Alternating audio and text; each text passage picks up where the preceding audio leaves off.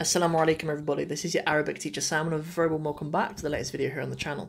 Obviously it's Tuesday, so we're doing Talk Through Tuesdays and these Talk Through Tuesdays are just videos where I share one of the skill builder videos with you guys free.